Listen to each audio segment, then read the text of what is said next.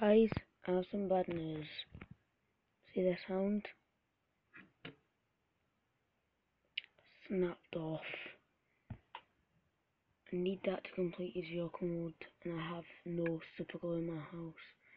So I have so I have to wait till I can go to the shops next time to get it. And to get it all fixed and that. So sorry guys but the new episode has to be cancelled a wee bit longer. I'm sorry guys.